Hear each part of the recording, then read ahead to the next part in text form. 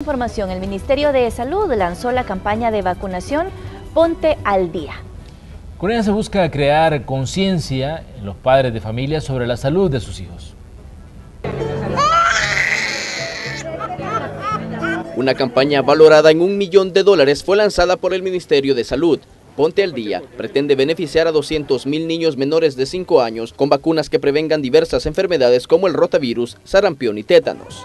Gloria de Larios y Patricia de Marroquín fueron las primeras madres en poner al día el cuadro clínico de sus hijos. Y muy bien, ¿verdad? Ya que es bien importante la salud de nuestros hijos, ¿verdad? Aunque lloren, ¿verdad? Pero uno sabe de que es bien importante que nos ayuda a que si nos atrasamos podamos remediarlo, ¿verdad? En campañas así, pero sí es de un llamado de atención a los padres para que estemos más preocupados por su carta de vacunación a tiempo. Esta iniciativa contó con el respaldo de la Alcaldía Capitalina, quienes se comprometieron para colaborar en futuros proyectos. El gobierno capitalino está comprometido con el fomento de la salud preventiva de los ciudadanos. Por ello, cree en este tipo de proyectos y lo apoya desde todas sus dependencias.